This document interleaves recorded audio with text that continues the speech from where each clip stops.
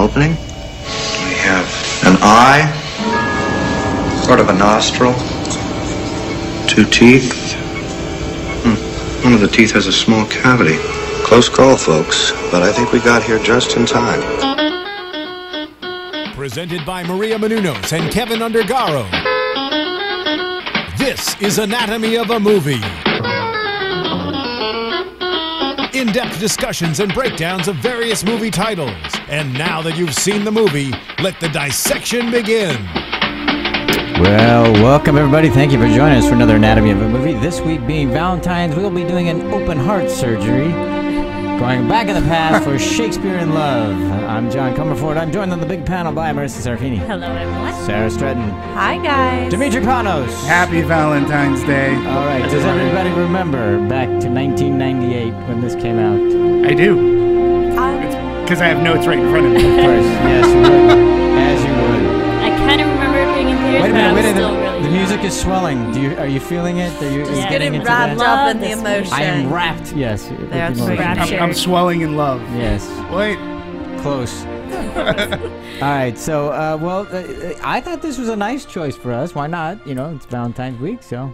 This Yeah. is probably one of my favorite romance movies of all time. I do not remember seeing this in theaters. I do not think I was allowed to see it when it was in theaters. You Uh-huh. Um, so I found it after, and Mm-hmm. I probably found it in around high school, and it was kind of when I was also getting into Shakespeare, and I just fell in love with this movie. Um, I'm still in love with this movie. It's probably one of the m- like most frequent movies that I revisit. So Wow. I'm very happy to be talking And Marisa, about do you today. do you like this one at all? I can't remember. I love this movie. I have probably watched Shakespeare in Love about four times in the last year already. wow. And then, but Is that I'm since January or is that in the past 12 months? past six months probably.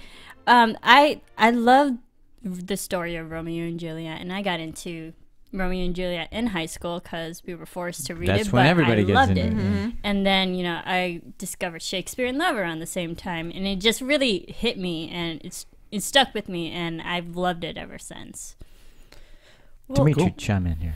uh, yeah, I I appreciate the movie for what it is. I don't I don't herald it as one of the greatest romance movies of all time. I do show it, uh, especially, and I should say this. I just watched the movie last night. First time I've seen the movie since I saw it in theaters in 1998. So to me, it always goes as the movie that stole the Academy Award for Best Picture from Saving Private Ryan. Not that I was bitter about it, but that's what it always went down as. And, uh, you know, I'll talk about that later. So revisiting the movie and, and going in that it's Valentine's Day, and, and I recognize the romance in the movie, but to me, it I was like, wow, I'm really surprised as to how much a farce it plays on the movie business. I mm-hmm. know nothing about mm-hmm. producing a play, Right. you know, outside of uh, Bialystock and Bloom. so, I, you know, I, f- but the movie aspect of the producer mm-hmm. and and don't they get back end? Oh, sure, but what if we make no no money? Profits. it's like, well, great, even Yeah. better. So all that stuff I really liked, and but then I noticed that the movie was more about writing the play and putting the play on. I found most of the emotional stuff came from when Romeo and Juliet was being played out and and and the the the birth of it the origin of it the way that this movie supposes that it happened that I really enjoyed the romance you get involved with it but you know at the end they don't end up together there's no particular reason like other than the queen says, Romeo and Juliet. So yeah, well, but but there's a reason why they don't end up together. Um, I do like the little Shakespearean nods, like you know the miscommunications Yeah. Mm-hmm. and, and things like that. So I you know I appreciated. I, I had a reappreciation of the movie. Uh, and then you know researching and looking at what it, what the other things that it won like costume and you get it Mm-hmm. you understand why the production design on it was fantastic. And then something else i noticed was the editing to it. Mm-hmm. I thought was very smooth and fl- and i was like wow this movie was edited put together very well, and yeah, Well, so I appreciate it for all It has a those. huge flowing presence. I mean, Yeah. you walk away feeling the romance. Not only for me, I do feel it between the characters, Mm-hmm. but you get this adaptation that to me is technically skillful, and that the shots do flow. That there's like a warmth, and there's fabric, and there's feathers, and just the design of it is wonderful, and it adds to that romance along with the movie. And then on top of that, there's so much intellectual property that they're grasping and twisting. And to me, it exists in these layers where they do direct references. Where they're also showing scenes. Mm-hmm. And then there's also the whole other section where you can see his plays just in subtle characters, mm-hmm. whether it be like Merchant in Venice being, you know, broke and having to look for dowry, and you get that with her Right. fiance. It's just all over the map, and to put so much in a film. And I know there was a comment about like they thought that it was almost going to be too smart for the audience, but I think people really enjoy that. They enjoy being able to watch it over and over again and be Yes. Com- reminded very of all the different things. And that's what I really love it that it captures the multi-layer. It's technically and visually pleasing, and then on top of that, I do feel a love story in it. Mm-hmm. So Yeah, there's a love story. Like I said, and all Mm-hmm. that. You don't even have to be that well versed in Shakespeare, I think, to No. enjoy this movie. Mm-hmm. Um, you know, you'll you'll get Merchants of, of Venice, or you won't. Yeah. You'll you go along with the story. It flows pretty evenly, and then hell, if somebody had watched it in 1998 or today, and maybe it um, encouraged them to pick up and read Shakespeare, you Mm-hmm. know, hey. That, that Billy Shakespeare, he could be a big writer someday. Yeah. You know, Eh. He doesn't suck. He doesn't suck, yeah. So um, if he yeah. existed, Yeah, that's two. true. If he even wrote him, if he we're even wrote we're, him, we're yeah. gonna believe the conspiracy theory. And they may not, and they make nods even to the conspiracies in Yeah. this movie, and I find that Yeah, bringing Marlowe in and, and the fact that he had somebody else write it for him because he's got great penmanship. I mean, I, that's what I thought was great about this, Yeah. as everybody's already talked about. I thought it was well crafted because it not only spoke to the the conspiracies about Shakespeare, but also it brought in the whether it's theater or film, the whole thing, and the behind the scenes and all uh, all that, and the shenanigans that go behind there, as well as it, it informs the audience of what is involved in the artistic process Yeah. and what the muses are, what's the inspiration for this or that, and it's uh, not only is it very specific to Shakespeare, it's very general for anybody who's in the artistic process. You Sure. you, you don't know where all those things come from, and they find their way into your work, Mm-hmm. and that part I love. I, I agree the artistic process and the the whole behind the scenes of the theater production because I've done a lot of theater and just knowing what that's like and having going through those bad auditions mm-hmm. and then getting all these roles that somehow turn into something else Yeah. and then all all these things that even when you're going live on stage and you're actually performing it in front of everyone things change and you just have to go with the mm. flow and one, then of- like, one of my favorite moments is Geoffrey Rush when they say, "Well, how's it going to work out?" I don't I know, know, it's a mystery. it's a mystery It's a it mystery. is. Yeah. it really is. is. And somehow it does. Yeah. And th- and that's the beauty of theater. Mm. And Yeah. I love it. I, I like, you know, another one of my is uh, on the pamphlet. Like, Oh, when yeah, they're- yeah, yeah. So, I mean, but, but, you know, but, but, but today, you know, and, and I don't, it could have been for, I mean, it could have been foreshadowing or Mm-hmm. their, their foresight into the, you know, you go to the movies today and it's 10 minutes of a Skydance production of an Annapurna film Yeah. brought to you by Village Roadshow, mm-hmm. Mm-hmm. but, but by Sideshow Collective, Yeah. presents a mm-hmm. Warner Brother film. and all, that's all I was thinking of. I'm Yeah. like going, that's actually sort of brilliant considering that was 1998. Yeah. And uh, I, I like those little touches. Yeah. And again, for me, it was more the creative process. It was more of that was the emotional, like, you know, when, when, um, Gwyneth Paltrow shows up Yeah. to, to, to, to play. audition. Right. And, mm-hmm. you know, that was not to audition, like beg at the your end, like when, when, at the end, like when they're to putting the play on ends up Oh, playing I see. and she plays Juliet. Mm-hmm. Like you're like everybody was. It's like that's an emotional moment because the play is going to go on, you know, mm-hmm. and and little things like the show must go not- on. and not Go on. and not only go on, but go on in the proper nature that we want to Yeah. see it. Right. Like not the initial plan that they set in stone, but how almost like fate would have it or with the mm-hmm. Right. ideal situation and that's what ends up going up in front Yeah. of the audience. Yeah. And so it just adds mm-hmm. adds even more that she ends up playing her in a way herself. Exactly. Oh, and, and then even beyond that, because beyond the shipwreck, she's playing, playing viola now. I mean, I, Yeah. I mean, it's Yeah. just so well crafted and well Yeah. layered that you could watch. I, and I've enjoyed it many times since 1998. Mm-hmm. Uh, so uh, I and I find myself as I watch it, I go, oh yeah, I'm, I, I don't have time. Oh, oh, I love the scene. Oh wait, wait, wait, wait, yeah, wait, I can't wait for him to say. it. And, and Wait, I just give it another minute because there's a really good line. exactly, Yeah. and, I, I and I I find see this. myself being charmed by it all over again and wanting to watch it. And yeah, sticking and, through it. and um, let's you know, I think one of the uncredited performances that that i- i- or not he's credited, but he's not given a much. He's not given as much.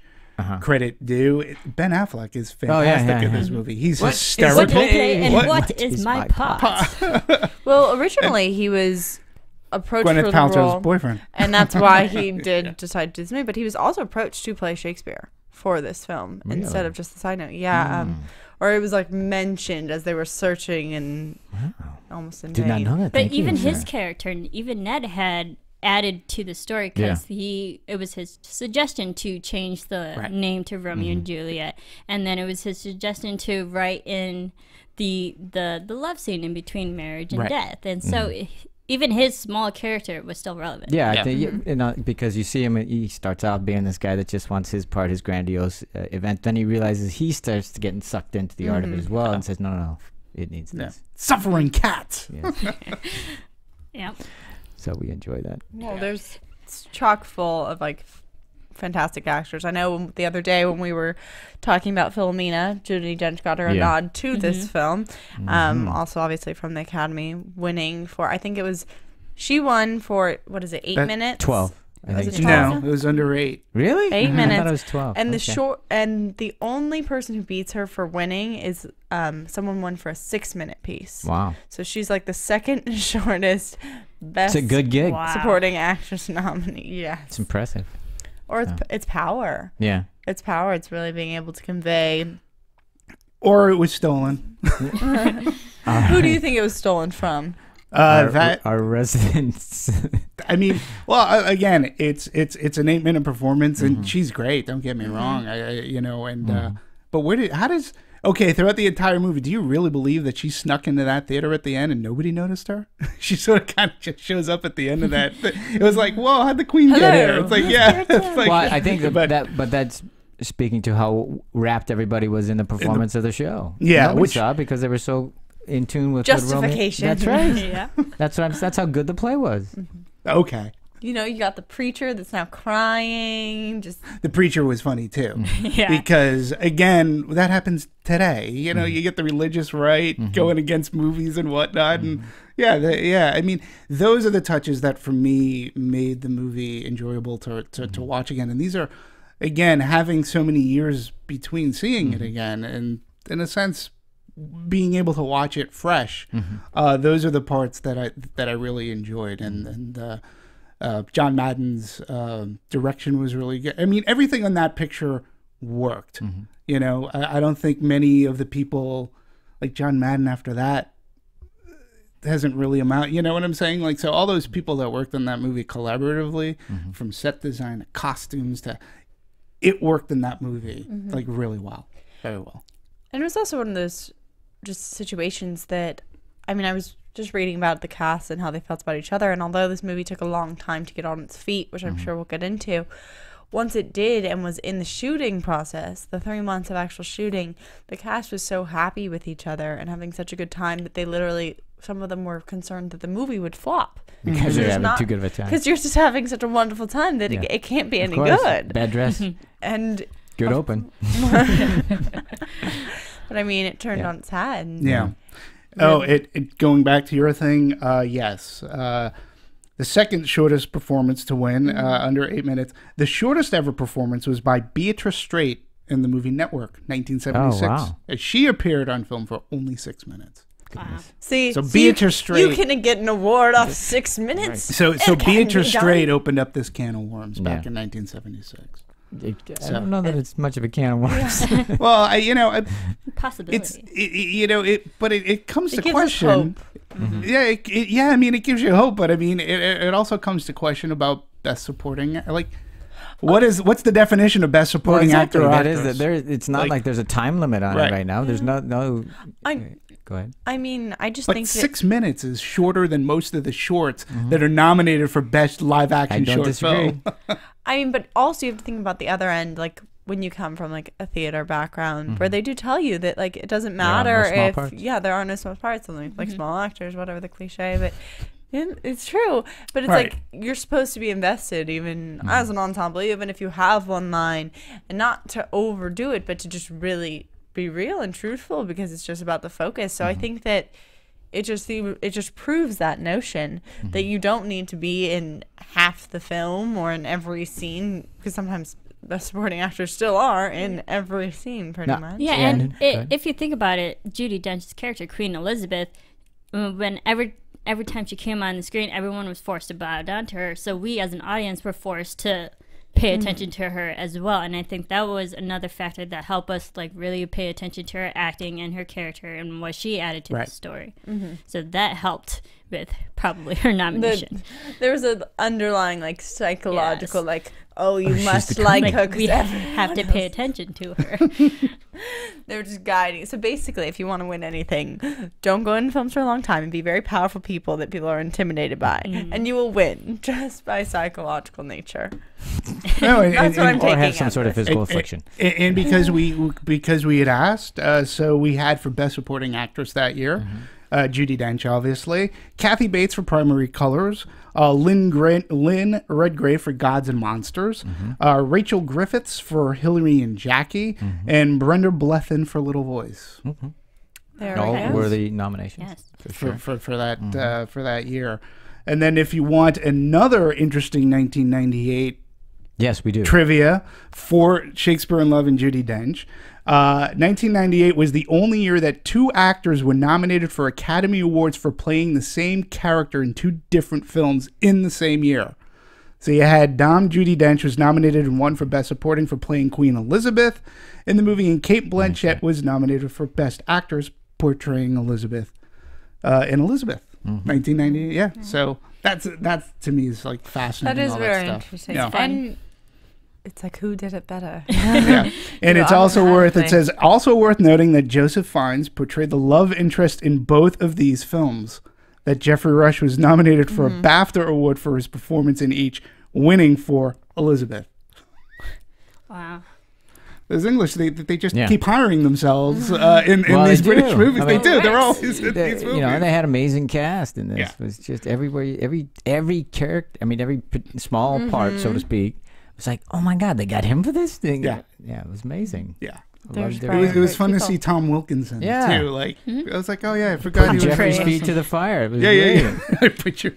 And I feel like the group that they ended up with this movie is just so fitting for it. Yeah. Um, I mean, the original cast and when it was really first put into its initial push Mm-hmm. for production was Julie Roberts instead of Gwyneth Paltrow, and from there. She wanted Daniel Day Lewis to play her Shakespeare, and then that fell through. And we had people like, oh, Kate Winslet was up for mm-hmm. the role. And I think that just almost there's such a, a kindness that these two characters have. I mm-hmm. feel like between Gwyneth Paltrow and Joseph Fiennes, and but also a sense of comedy and sense of sense of passion for the words. I think that was really important to make this movie because Shakespeare is literally all about the words. Um, I mean, that's what the, I think it's one of the most popular things to ever say that you can literally just listen to the audio and you will get everything because every emotion is written down. You don't. I you. It's like sometimes they say in, in film it's you know, you catch the emotions in between, just in the looks and the close up. And for Shakespeare, it's so much the focus, the tension is in what they say. And I think that they carry that through in this movie, which was really important to me as like a Shakespeare Yeah, lover. and it just seemed too. I mean, I don't know if this been if- if this has ever been said of Shakespeare. Not that I'm a Shakespearean historian, but he wrote for the cheap seats. He wrote for people that He was right. couldn't exactly see. They were Right. commercial ventures. Let's yeah, put it that way. Yeah, But They, it- they were so- the, the penny, the Right. petty stand. but it was also paid penny. it was also the era, the time. Right. I mean, now we're such a visual culture, but in the time of Shakespeare, it was total audio culture. Like it wasn't. yeah. Not everyone was literate. Everything was spoken. Like the average amount of words they used in speech was like triple the the vocabulary we use today. So No, like, that which is it's because they didn't have text or Twitter or Instagram No, or but it was- LOL or But it yeah, was, they didn't have it, that. It was They- they more than that. Like you were people. cu- you were always communicating through language. Like you didn't have things to That's write what I'm down. You were always memorizing things. Right. Exactly. So it makes sense that why all of his effort and emphasis Yeah. was on that.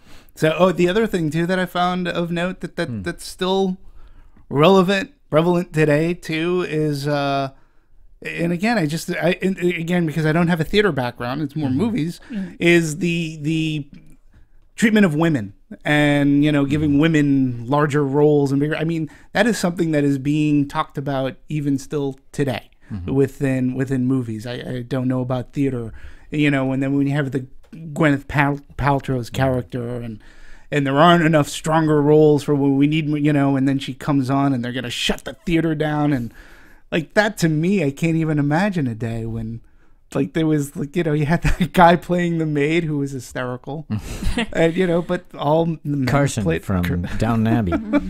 and it's just it was uh it's an interesting period to look back because Hmm. historically even though the the events in this movie may not be like accurate but going to the theater they Hmm. definitely depicted it so much so that Judi Dench the theater that they In the roast. Built. Yeah. She she wanted to she bought it built so that it could be used as a theater which is pretty cool Yeah.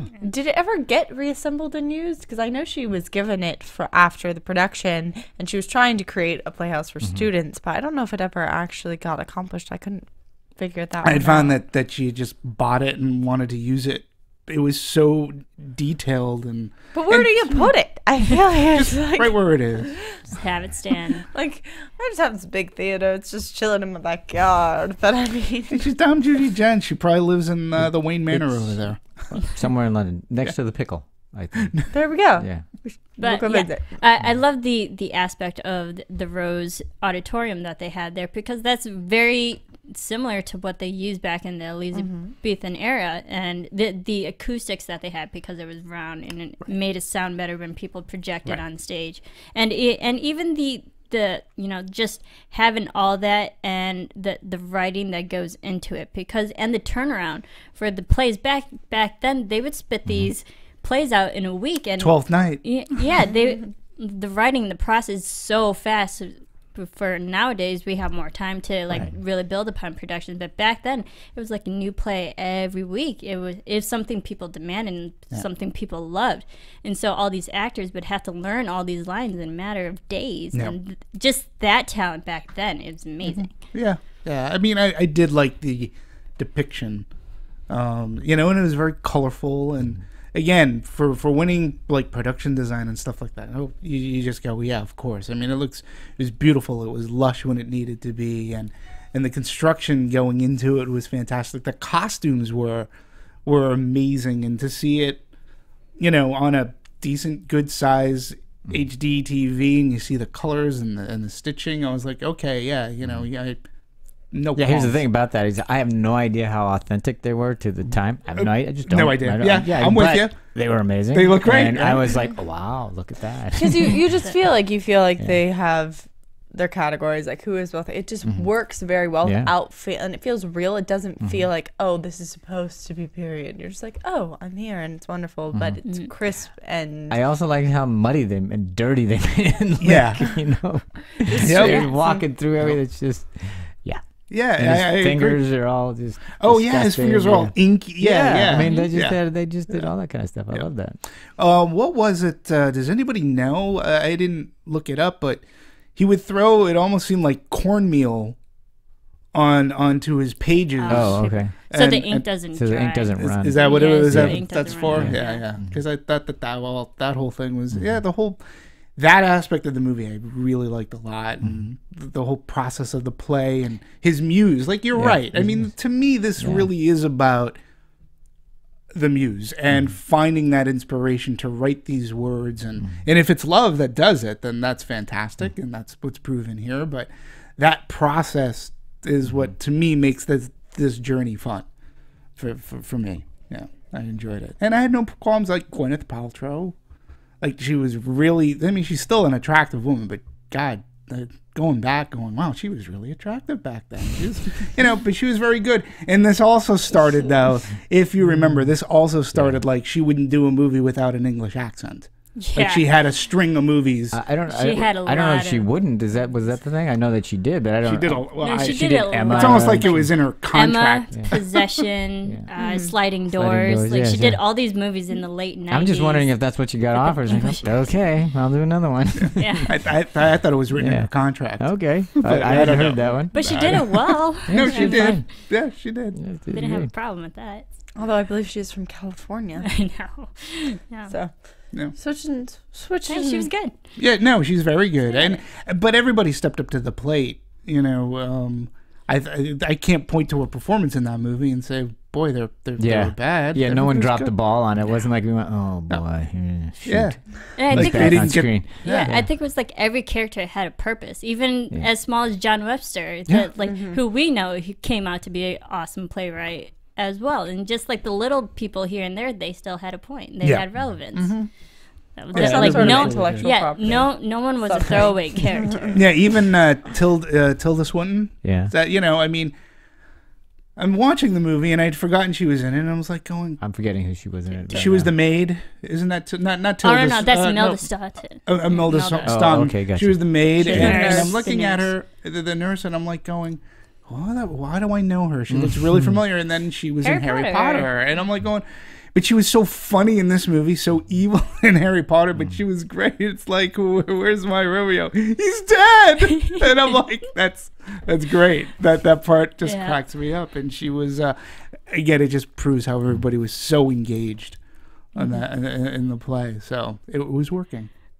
It, yeah, it was hard for me to watch Harry Potter knowing that she came from Shakespeare because I'm like, she, she's such a mean person in Harry Potter. I and know. she's such a lovable person in Shakespeare. I had a hard time like going back, back and forth between her, but she was great. I and loved- she's her I loved the ally throughout the whole Yeah. which is great too you know, Because so- in the story Romeo and Juliet, uh, Romeo, I mean Juliet's, you know, best friend essentially is the nurse, and I love the connection how they built upon that in this movie too. What I liked about this movie also is that the flavor of it approached um, Shakespeare in an interesting way. It wasn't like let's be extremely like serious and mm-hmm. straightforward because this is something we've built up for centuries and need to respect. It was like let's approach Shakespeare in a fun mm-hmm. and caring and loving way that we can and peel back the curtain on it a little bit. yeah, me, exactly. like- and we mm-hmm. didn't. They didn't put it on a pedestal. Yeah. They used all of his works. They played with it. They Yeah, they talked about controversies. They or like Yeah. hinted at them, and it was it was fun. And it really stressed back to the line of like all you need for a comedy, you know, is Yeah. a, is a dog, and you don't. You need all these little aspects, and it can be drama, but it can still be the kooky people who are going hmm. to dress in, as other people, and he's going to be a nurse, and who knows. Well, even how the the the mo- the play behind the movie started was which was Romeo and Ethel, the Ro- Pirates the of Pirate Paradise. King, was yeah. like, what? what? And then how it trans, you know, it transgress not transgress, but how it uh, moves along Morphs, and, yeah. and morphs into whatever. I mean, I just thought that part was hysterical, and that and in doing so, we got to see the evolution of uh, not only the artistic process, but you know how Sorry, so sorry. how it might happen for others and stuff like that. Uh, I think the other thing too that it does for Shakespeare is it made him accessible. Mm-hmm. You know, you you can go into Shakespeare and love, and again, not have much Not education, and right, and you will find the movie entertaining. I think- you won't feel like you're being there as an education, and it's not like watching like a a remake of Romeo and Juliet and and and whatnot. You can go there, Mm-hmm. understand the dialogue, the language, and it makes it very accessible that to an goes audience. to what Sara was saying. is We put it on a pedestal, and and and the other thing we've already mentioned is that he wrote for the masses. Right. That's what they understood at the time. And, and these days, we oh my god, it's so hard It's to get. And Shakespeare. like, Right. No, no, it's actually written. It's a popular, a populist uh, Mm-hmm. storyline. Right. So, but you know, it's kind of like Neil Simon. Sure. I mean, of the day. I no, mean, that's I- the same I- thing. John Lennon and, and Paul McCartney. You know, Yeah, that and- Difford and Tilbrook. Also, Queen Elizabeth as herself, she loved these plays, so it was kind of mm-hmm. in demands from her that she wanted to see all these things as well. And then it was just something that was a it was a cultural thing. Everyone mm. went to go see it. It was like everyone watches movies now. Everyone mm-hmm. went to go plays back then. Right. Yeah, and you know, and again, the movie made a hundred million dollars, you know, at the box office in 1998, and so Do we have an idea That- what the? Do we know the budget is? Yeah. Well, let's see. I I got around 65 million. yeah, I get production budget at about 25. So the total budget around 60, which makes which makes sense. And then um, you know, it it opens up uh, on December 11th, 1998. Uh, it opened up on only eight locations, and it did two hundred and twenty-four thousand dollars at that point. So that's actually that means word had gotten out. That's not bad because it's a decent per screen average. And to date, the total gross is uh, over a hundred million dollars. A hundred, a hundred million three hundred and seventeen. Seven hundred and ninety-four dollars is what it's done. so And how A many? lot of money and a lot of awards. seven, seven Seven Oscars. And yeah. I think 13 nominations. Was it? Um, 13. um, and it was one of the only movies um, ever in Mm-hmm. Oscar history to win for Best Picture, and I think and get that amount of Oscars, Seven but Oscars. not Seven. get Best Director. Poor John Madden. Yep, it's like Yeah. just keep standing up, keeps throwing people up there. Yeah. John Madden's still sitting. Yeah, but you have to understand that Paris that movie was not the movie that was that was not the favored movie that year at all. Like like I wasn't joking when when I said it's the movie that stole the Academy Award from Saving Private Ryan. Private Ryan was like when when they called Shakespeare in Love, like that put a spotlight on Oscar campaigning and and and the behind the scenes to Oscar campaigning that may have been around sort of kind of but that mm. was at the time the most ever spent in a campaign ever Yeah. Prior to that, it was. know. Uh, let's say it was under the radar a little bit. right I guess and the, under the radar yeah uh, uh, yeah Was much more overt. the, the- and this one just came. I mean, the amount of spending that that the Weinstein's and Miramax uh, put in for the campaign. Um, you know, DreamWorks was like they had to shell out more money for their campaign for Private Ryan, and you know he was he was doing things in 1998 that are way more relevant common today and commonly like the screeners like mm-hmm. he you know unbeknownst to he sort of kind of did a sneak attack and sent screeners out mm-hmm. to people.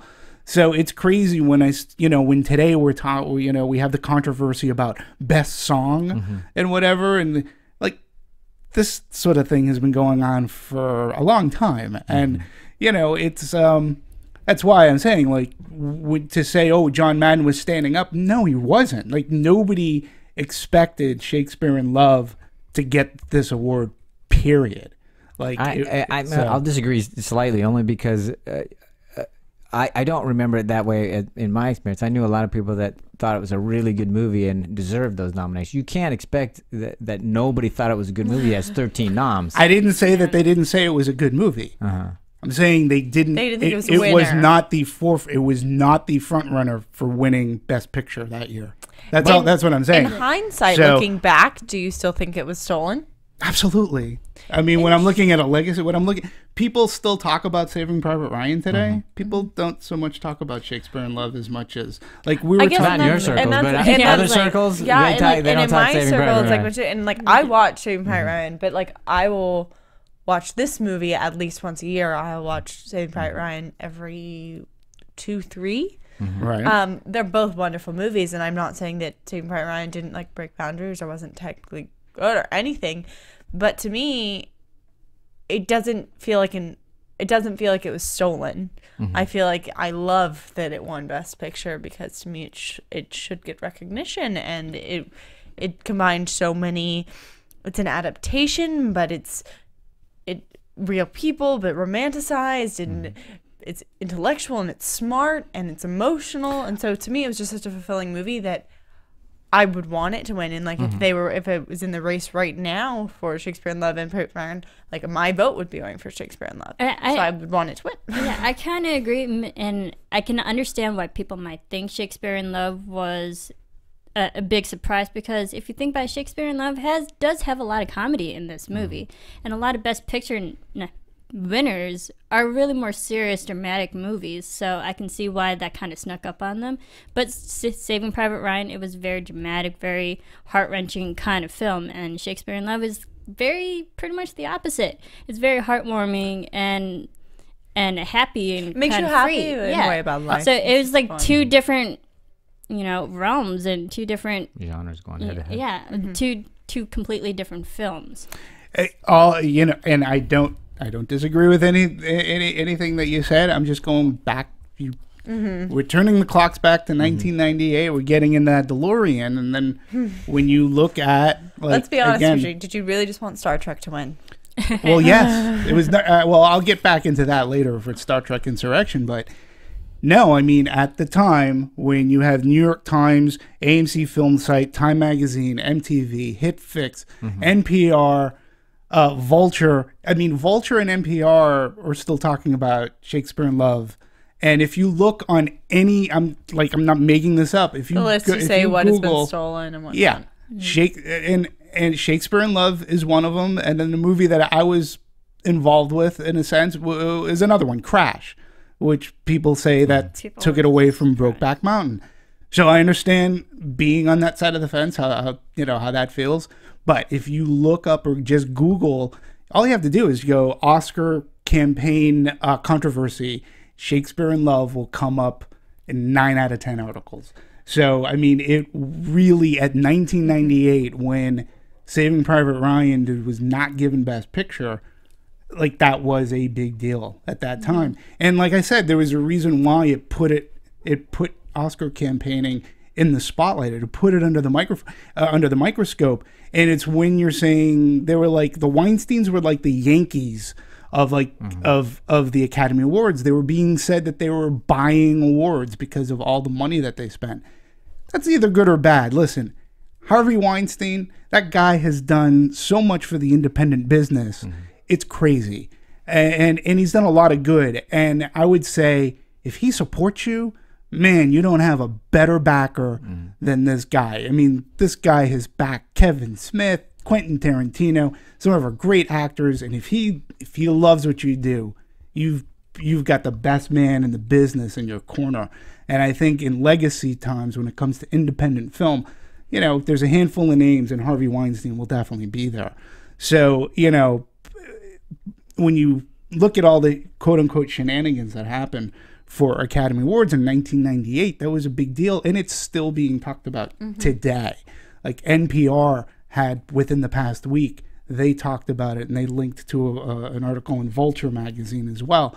So it's just very fascinating. And when you look at the Academy Awards today about how the Weinsteins are doing, like this year, they you know they they're not doing as well, but Judi Dench uh, is nominated. So so so we'll see what uh, you know if the Weinstein can pull his magic uh, for it. But uh, yeah, I mean, what the Weinsteins have accomplished with Miramax and and the Weinstein Company is just incredible, incredible. So regardless of shenanigans. You give them credit for everything that they've accomplished and the great films that they've given us. I'm not saying that Shakespeare in Love is not a great film, but maybe in that year, for me, anyways, it still should have gone to Private Ryan. But it opened up a can of worms and causes this discussion. That's true. It's true, and it makes everything more heightened. I mean, everyone has their opinion, right? And I, that's why you hope that everyone's vote gets represented. And if you really feel passionate about a movie, then you will not be bought by the campaigning. I don't know. Who knows? Well, the other side of the argument is that you know smaller movies, independent movies, are going up against huge. Uh, Blockbusters. exactly. So that's one of the reasons why they had to do that Mm-hmm. Uh, in, in their in the, in the argument. I don't know how much of that is true, but I understand the argument. But again, the movie made a hundred mil too. Yeah. So again, for for a movie whose widest was uh, just a, a hair over two that's really solid. Like that's good, bi- you know, especially Yeah. for Miramax. That's good business for All them. right. I have a question. A lot of people must have liked it. Yeah, absolutely. The hundred million is to date, correct? Do we Yeah, have? Do you by any chance have the numbers of what it made that year? Yeah, it's a hundred. It made a hundred million. Oh, during that year. Okay. Mm-hmm. Yeah, it was the like that year. Let's um, well, we'll start off with with um. it's- Sorry about that. We can start off. Shakespeare in Love was the number eighteen movie of 1998. So uh, and it, with 100 million 317. Uh, before it was the Rugrats and Prince of Egypt, which is a DreamWorks movie. Both of those were great movies. Too. I really liked The Prince of Egypt.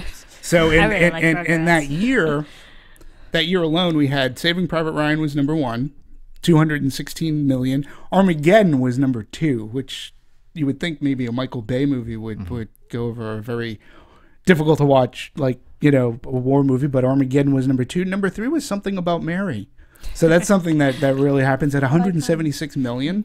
Um, a Bug's Life, Pixar, that, that was their second movie that did 162. That was four. Waterboy was number five. That's when Adam Sandler was still I was gonna tell you the exact Yep. same thing. In his heyday. Doctor Dolittle was number six. Rush Hour was number seven. Uh, Deep Impact, another uh, asteroid movie, was number seven. Or I mean number eight. And Godzilla was number nine. And Patch Adams was number ten. So that's what the movie landscape was in 1998. Yeesh. Crazy.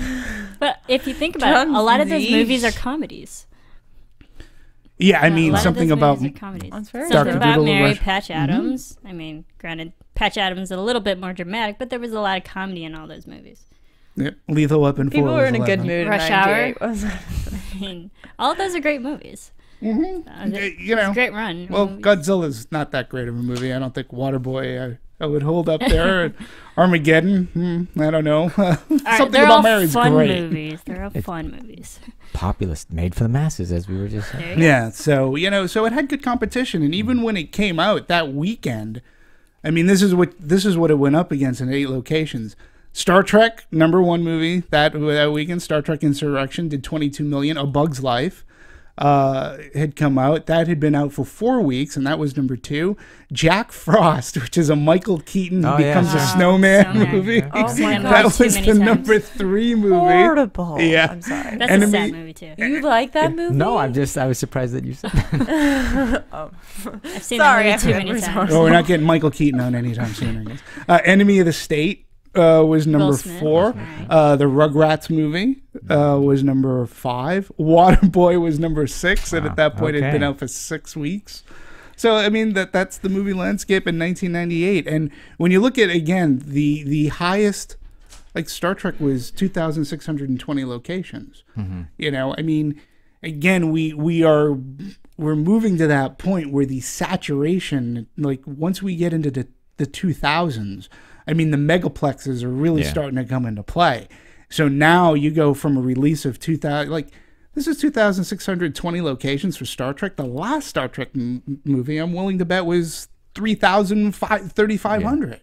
I mean, so, and you're bringing in lots more dollars. So, you know, it's, uh, I, that's why I love looking back to see how, how, how the business of distribution has evolved and, and what it does. And, and again, for a movie like Shakespeare in Love to make a hundred million, that's pretty big. Uh, that's a pretty big deal. Because how much? Let's see. What was uh, Kathryn Bigelow's Oscar? Hurt Locker, Hurt La- Hurt Locker? Locker. Yeah. What did that make? four, five. I mean, it was. Yeah. Yeah. I mean, even Philomena, which we were talking about, Yeah. as a, you know, so uh, for any independent movie like that to to to make a hundred million back Mm-hmm. in 1998 and and your first go out is eight locations and the highest you get is just a little over 2,000. That's a Mm-hmm. So, good yeah. stretch. People like it. It had. Li- well, that's the other thing too. So smart Legs. investment by the Weinstein. Oh, absolutely. That campaigning paid off. Yeah. time. Yeah, and think about the legs. Yeah. I mean, what movies today? I mean, I can't think of any that that, Mm-hmm. That would stick around, eleven yeah. Mm-hmm. weeks is when you hit your peak. Like Yes, after that- being out for eleven weeks, that's that's pretty impressive. Pretty impressive.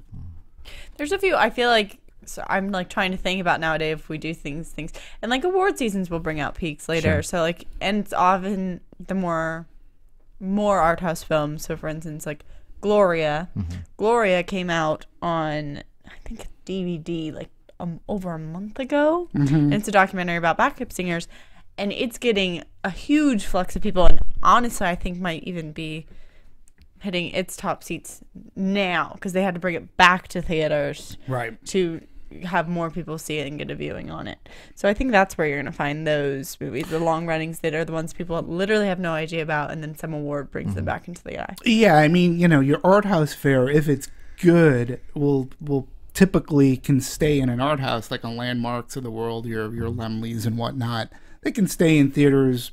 You know, number one, they need the product, so it can stay in theaters for a while. Mm-hmm. But again, when you look at a Shakespeare in Love and what it did, you know, for, for coming out in December and then in February you hit 2000.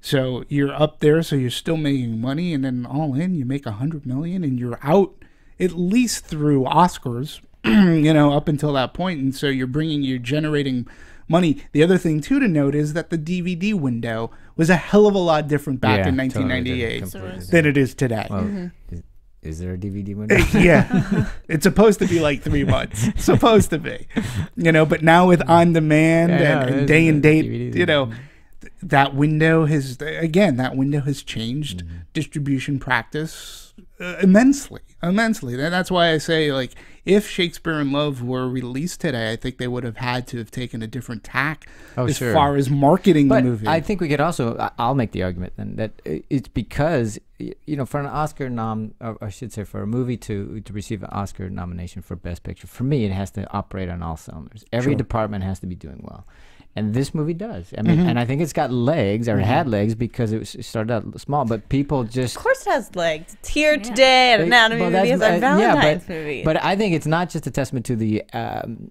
to the uh, campaigning, but it's just no, it's it's a dead solid movie. to the movie. No, absolutely. And again, making Shakespeare Yeah. accessible to people, having it be a comedy and having a romance and having it be light and you know, people can gravitate towards that and that's what, you know, when you get good word of mouth Yeah. like that. Mm-hmm. You know, other than it just being a Shakespeare Right. movie, when you say, "Hey, it's Shakespeare, but it's fun and I loved it and it had this great romance and it had this in it," that perpetuates your box office. Yeah, and, and the other thing that's interesting about it, because it's a period piece, it is timeless in a sense. It doesn't. You know, Sure. you're watching it again, it doesn't feel like dated in any way. I mean, because No. it's already dated. Yeah, mm-hmm. Mm-hmm. yeah, and and they didn't. the wonderful thing about period Yeah, movies. isn't that nice? you know and and they may have and again i don't know because i didn't grow up in that uh-huh. era mm-hmm. you know they may have softened the language up a little so that it's you know understandable body? Oh, but oh, but okay, that so- yeah right but but it makes again it's just all about it makes it accessible it Right. makes it fun it's not like a spoonful I, of think medicine they did a great job mirroring what Shakespeare was supposed to be back when it was written. It was accessible because that everybody understood Mm-hmm. the references and the language and everything. And so they did the same thing to a modern uh, Yeah. ear, so to speak. I, I agree, especially with the writing, because Shakespeare writes an iambic pentameter for all of his stories, and that's, I think, to the normal ear now, that'd be still hard to understand. But but now, and with Shakespeare and how they wrote it out, it was understandable in a way that audience could still comprehend everything that was going on, even though they it was a little.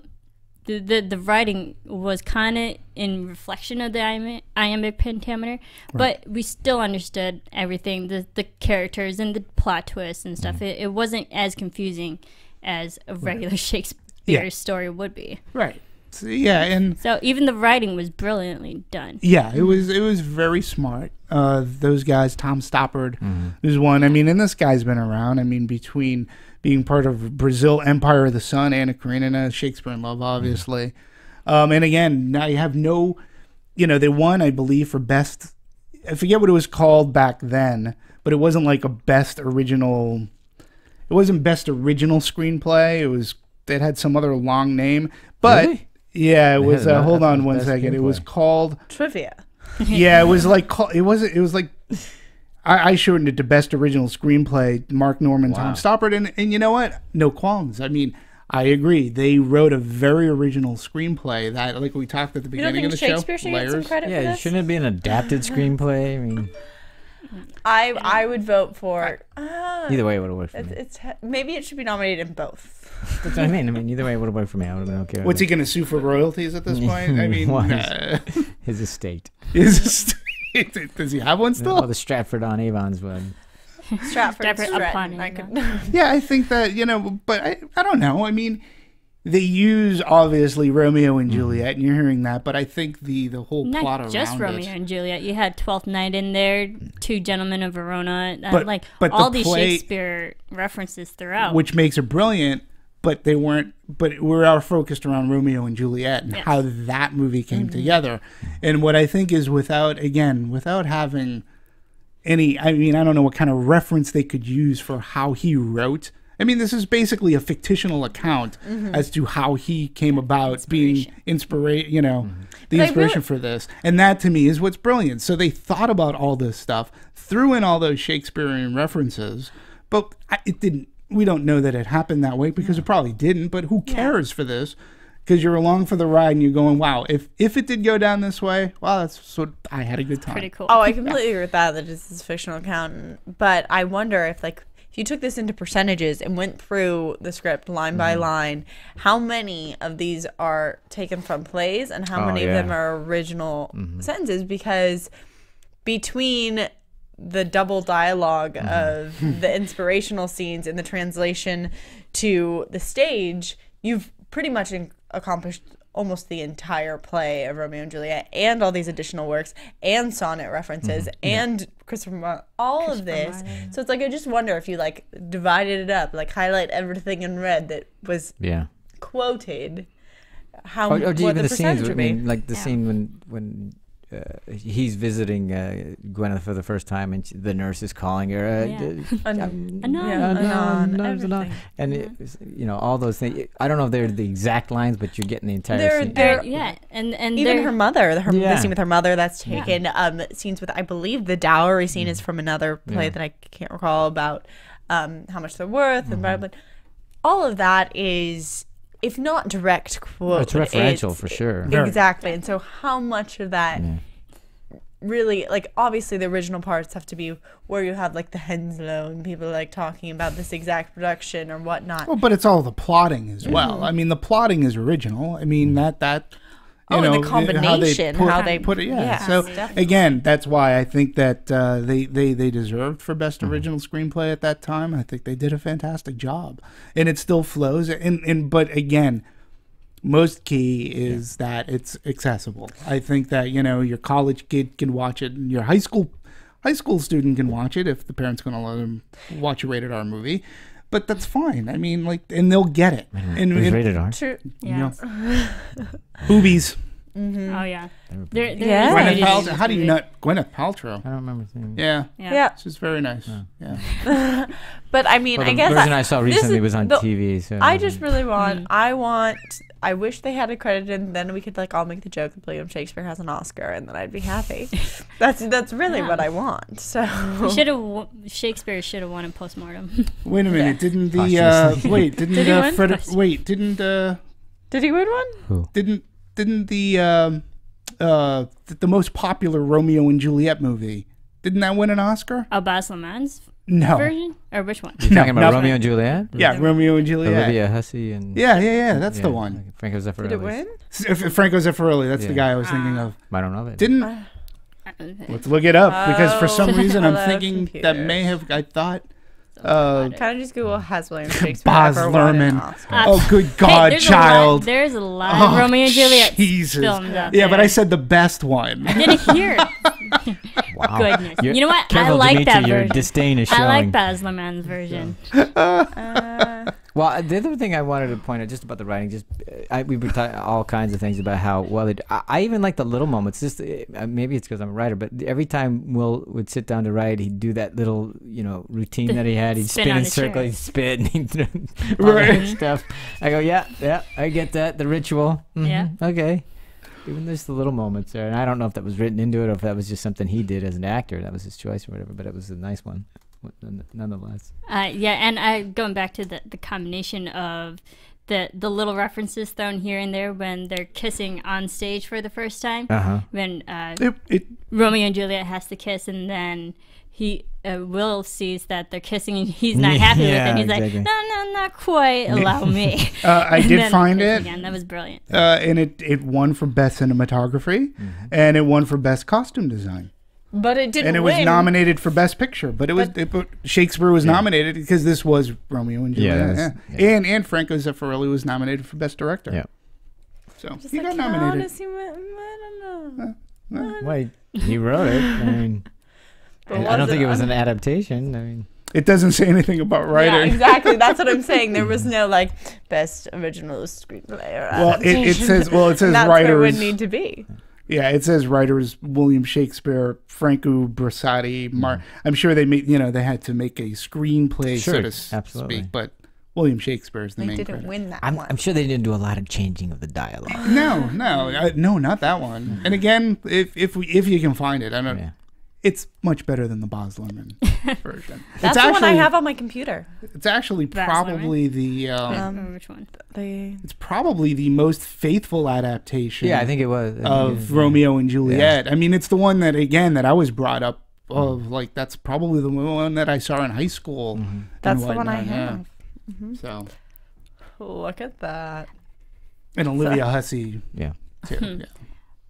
I, can, can we talk about the editing in this film? Please. Because No, I we thought it was to. so brilliantly well done. How they just smoothly transitioned from scene to scene, from on stage to off stage to behind stage, and it was just so perfectly crafted that we there were moments in this film you couldn't tell if they were on stage or if they were Mm-hmm. Yeah, saying their was thing just- being like It was very well Offstage, blocked yes, too. I It was- agree. It was, Yeah. it was theater esque in its blocking in some respects. Of course, it should have been, but anyway. And ahead. and no, and, and the scene that you're talking about, I know exactly the one. It's when they were it started off backstage Mm-hmm. uh, during the play, but when the camera pulls back, they're actually on they're stage. actually in front of the audience. but I, I, for me, like you know, I brought up. I mean, David Gamble's. I, I mean, I noticed it Mm-hmm. watching it. My favorite scene was the scene where they're rehearsing the um, the Yes. balcony, right. mhm. and that is a scene which kept on going from the balcony to the Mm-hmm. bedroom, bedroom back to the balcony, and Did you ever get lost though? Right. no, No, I know. Isn't that never. interesting? It was so Yeah, brilliant. brilliant. And and the reason why I asked that is because I'm, I'm just thinking about that, and I was coming,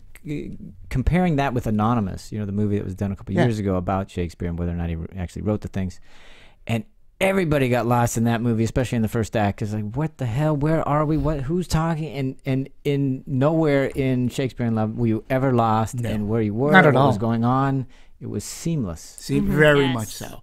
And I, I had to look up, you know, David Gamble, and I'm like, mm-hmm. this guy did an amazing job uh, on that movie. I, I thought just that flow and the way that that whole scene was, let's say, choreographed. Right. And, but, and, and and I will give him that nod. I'll also say whoever wrote it because um, they had to be thinking that ahead of time, or, or Right. whoever blocked it or staged it. Uh, you know, Right. and, and whether that's the director or the cinematographer, because all the camera movement and all that stuff was working all again on all cylinders. was just Everybody precise very and- collaborative. Yeah. It was precise but soft. Yeah. And it was that soft flow. Yeah, you didn't just, notice like, it. It wasn't like in the way at all. artistic line, and I, Yeah. it's done very well. Yeah, it's done in a romantic way, and then and even that scene in compared to the fight scene when they have on theater when they're Mm-hmm. you know throwing around s- swords and you know fighting each other, Falling off like, the stage. It's that was awesome. It choreographed well as well because they go be uh, underneath the stage and Mm-hmm. then you see the chaos on top of it. Just like even that was fun to watch. Now, here's something that I just found very interesting about Marc Norman. Well, first, I'll go to regarding Shakespeare in Love. Uh, writer Marc Norman's uh, credits getting the idea for the film when his son Zachary called him from Boston University and suggested doing something on William Shakespeare as a young man in Elizabeth, Elizabethan theater. Uh, it took two years for Norman to come up with the idea of having Shakespeare struggling with writer's block in Romeo and yeah. Juliet. What a great. but It's it's just a great Idea. idea. and yeah. as a writer, yeah. like I mean, again, it is. It's a great. It's like we always think William Shakespeare because none of us could say that we've met him Mm-hmm. No. or know his personality. But we can say that he's extremely prolific, or at Right. least based on the Correct. his portfolio. And being a writer, but but nobody ever thought of. Yeah. Well, how was he if he he must have gotten writer's block at some point, right? yeah. Yeah. How did he get out of that? I think that it. I It's think great. that the fact that that one, like niche is so in a way streamlined, it let him tackle this very Mm-hmm. complicated world. Because if you went into this being like, I'm gonna try and combine all Yeah. Mm-hmm. of Shakespeare's plays and works, how am I going to do this? Right. But it really was just. Yeah. He took this one seed and it l- let him Yeah. access. And it's such a simple little thing. idea. Shakespeare has writer's block, Yes. and it starts from there. Yeah. Yeah, and it's and it's It's like great. trying to pick a lock with a herring. but but but let's find out where this uh his screenplay before Shakespeare in Love Hmm. was Cutthroat Island. Interesting. He also did a, bra- a, Interesting. a, a Charles Bronson movie called Breakout, I know that. Yeah. and and he Based wrote on a book. He wrote True for uh, he wrote for uh, Mission Impossible the television series.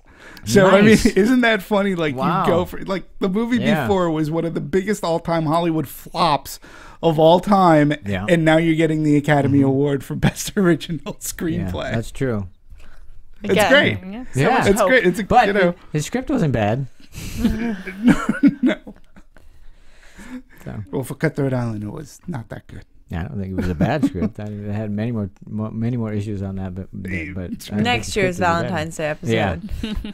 but um, you know, so yeah, there you go. Yeah, it was very well written, and like I said, no, no qualms. It being an original screenplay, absolutely. I really would love to know what, the, what Tom Stoppard brought and where it was and how. It, I just want to know that story. I want to know how that evolved. That particular script, just as much as I, it was fun to see how Shakespeare in Love evolved as we were watching the mm-hmm. movie. I want to see how the script evolved because I would love to know how that happened. How he, I agree. That would be very interesting. Mm-hmm. I'm sure we'll, we'll call him up, get him in here. Yeah, yeah, yeah. like that's ever gonna we're gonna find that out. All right. Well, what's left? Anything else we want to talk about? Well, I mean, do we? I mean, Mark, Mark, uh, we were talking about editing, and and Mark Gamble went on. I mean, he did Veronica Guerin, so he got to work with Cate Blanchett. Uh, uh, Shop Girl, which is a Steve Martin movie. Um, the site Shakespeare in Love. Uh, then he did he did a lot of um, miniseries. Uh, they seem to be like BBC Armistead Maupin's Tale of the City. So, So see, that's that's American. and so yes, all these movies he did. You know, I mean, Shop Girl. It's listing him in mm-hmm. 2005 as the last movie that he edited. So mm-hmm. again, when we're talking about yeah, and, but when we're talking about working on all cylinders, Yeah. like a lot of these people that we just talked about never really after this movie never went on to bigger and better things so to speak you know i mean the writer didn't really do much after that. Um i can't say uh, about um the director john madden. Like what he did that that would have rivaled this movie you know? So we had lightning in a bottle with shakespeare in love. I mean it really you know when you look at the people that were those creative types you know and then of course look what happened to ben affleck. Ben affleck at that time was really going down that path of being one of the most hated actors people in hollywood because it was after gwyneth paltrow at some point or another he ended up with with with j-lo and Gigli. G- Gigli. He ended up in Gigli, Gigli. Yeah. Daredevil. Yeah. Yeah. Daredevil, like like I said. But but but you know, he's turned it around and um Except uh, you know he still has everybody now on him for Batman. It's For like, Batman. Jesus, I know, he can't get a why break. he- exactly. He why can't are get a break, such this a bunch of haters against Ben Affleck? I mean, yeah. what the hell? Yeah, I mean so uh, it's it, but you know, Gwyneth Paltrow is very happy with uh, the Coldplay guy there and and she'll do the Iron Man movies cuz that's a good paycheck for her. Tom Wilkinson can, you know, he he still is Tom is- Wilkinson is will great. always work. He's always working. Uh, He was in the bedroom. Remember Oh, the yeah, bedroom? I mean, he he was- was nominated for that. It's really nice to see all these actors in this movie, the supporting cast as Mm-hmm. well, that like they've all have still they're still working they're still doing amazing films Yeah. nowadays. Geoffrey I mean, Rush Judi did Dench Geoffrey just Rush. did film The Philomena, Geoffrey Rush. They're all working. Book Thief. So it's Yeah. nice to see even they had like smaller parts in this movie that they're still flourishing as Mm-hmm. actors. Um, I, I would love to talk about the the music a little bit in this movie. Um, uh, I believe it was uh, Stephen Warbeck. I mean, I have the soundtrack to? Shakespeare in Love, and it's just the, the violins and the music and the piccolos that are playing underneath. It just it really reflected the Elizabethan Mm-hmm. that era, Elizabethan era, the, um, um, back then. And Here it is. Thank like you. how they used it. Um, like the first time when you're opening up the, the music, it's Hmm. it's building and you're you can tell it's a romance. And then when they're using it at the that that party at um, that dinner party that they were having for the first time, then you hear the same music again on the stage. So they use it in different ways Yeah. throughout, and it just really reflected the whole tone of the film. Although I, I- I will say this, um, that Game of Thrones has affected me uh, officially now because there was the scene. It was the first scene that took place sort of kind of in the pub. Are we well- talking Game of Thrones or, Liz- Uh, or no, I'm Shakespeare? tired. Shakespeare in Okay, Love. They're go in the they're in the pub, and for some reason I was like, I just had this feeling of a red wedding coming on, and I was like, oh, because they captured like that scene in the pub. Number one, it's very funny and and everything, but it was just like because there was the music in the background. I was like, oh, I just got a flashback to the red wedding. So, but uh, the music in that scene too was pretty good, and then Yeah, the and fight breaks out. The dancing, and, Yeah. and when they're rehearsing on stage, Yeah. gentleman upstage, lady downstage. You know Yeah. that it's still fun. It's used in a romantic way. It's used in a comedic way. It's And used in a historical way. Yes, So- exactly. Yeah. So, I loved it. I love the music. And, and just in case anybody was wondering, so after Shakespeare in Love, he did Captain Corelli's Mandolin, uh, Proof, uh, Kill Shot, The Debt, the best uh, exotic marigold hotel, and he's Jim uh, he he he uh, directed the pilot of Masters of Sex. Good for him, because now he'll continue to get for every other episode. He'll continue to get a paycheck for that. There you go. so good for him. That's what John Madden's been up to since Shakespeare in Love. He's doing fine. There we go. Yeah, Yes. it's doing quite well. So let's do our last thoughts. Um, last thoughts. I know that this. I if you haven't seen this movie and we're just listening to us talk about it, go see it. Um, I think it will.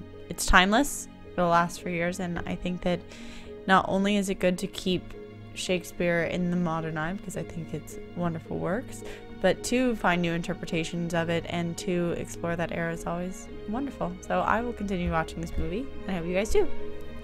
Uh, I agree. Um, if you don't like Shakespeare, I definitely would recommend start with Romeo and Juliet. It'll help you. It's a lighter film. A lot more people can relate to that story, and it'll help you get into Shakespeare, which is it helped me get into Shakespeare a, a lot more than Macbeth and all the other ones that he's written. And this is just a nice ode to that time period, to Shakespeare, and just like the art that was the whole Elizabethan era back in theater and stage and how the writing. I, I think it was just amazing, and they did it tastefully in this movie. I'm I'm happy that because of this show, um, I went to go revisit it. So I got to see it with basically a fresh pair of eyes. Uh, I looked at it in a whole new light, and uh, you know I have a different appreciation for it than say when I saw it in 1998. Which I didn't hate it. I didn't dislike the movie at all. I remember enjoying it, but I, watching it now, I appreciate it for different things. So uh, I, yeah, it's definitely. Uh, I'm glad that we were able to do it today. So it's good stuff. For me, it's one of those movies. Every time I see it, I always enjoy it, and I always there's something new about it that I go. I never even really paid attention to that before. So it's one of those I always like to go back and see. I think it's seamless. It's well crafted. It's a movie that's uh, deserving of its nominations, and the music is swelling. That's like the Academy hook. Uh, So and it's so much more than just an adaptation of William Shakespeare. It, it could Yeah. be any writer, uh, but the fact that it is is even more rich. Uh, so it's rich, it's fun, it's it's just a great movie. Yeah. So do watch Good it. stuff. All right. And happy That's. Valentine's Day, happy. Valentine's. That is Happy our VD Day. Valentine's version of Anatomy of a Movie. There you thank go. you for tuning in. We'll talk to you next time.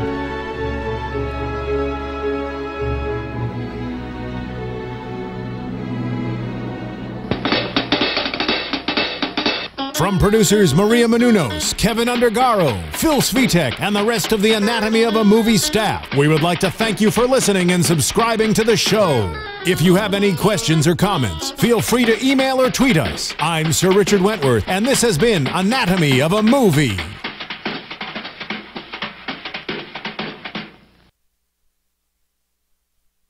Thanks for watching Anatomy of a Movie on YouTube. For more on your favorite movies, subscribe to our channel here and be sure to let us know what you think in our comment section below here. Bye.